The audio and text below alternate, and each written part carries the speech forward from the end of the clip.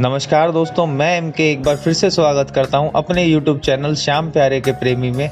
दोस्तों, मैं आपके लिए लेके आ चुका हूँ एक नई परेशानी का हल, एक नई औषधि के साथ में।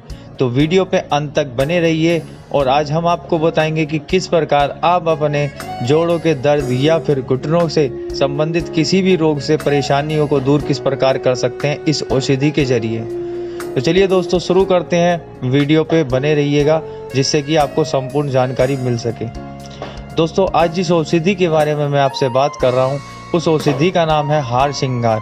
जी हाँ दोस्तों, हार श्रृंगार वृक्ष आप जानते होंगे, या कुछ लोग इसको रात की रानी के नाम से भी जानते हैं। इसमें छोटे छोटे सफ़ेद रंग के बहुत ही सुंदर पुष्प लगते हैं, और साथ ही इसकी जो सुगंध होती है, वो बहुत ही अद्भुत होती है।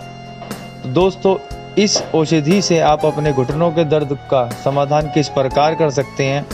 आपको इसकी पाँच ग्राम फूल, पत्तियाँ और इसके जो तने और साथ में इसके जो छाल होती है, उनको ले लेना है और 200 ग्राम पानी में आपको इसको उबाल लेना है। उबाल कर इसका काढ़ा तैयार कर लेना है और नियमित रूप से आपको इसका सेवन करना है।